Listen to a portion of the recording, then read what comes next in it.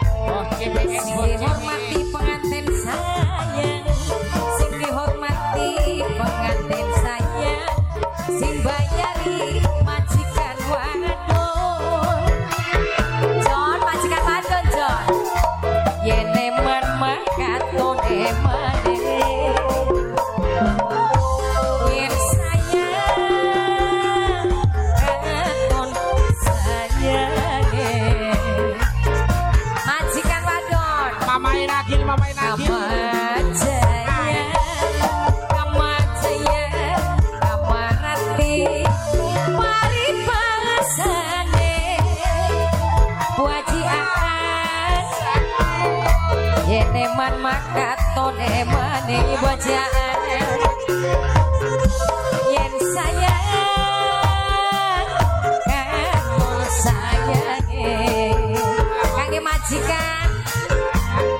Singgi hormati majikan waduh.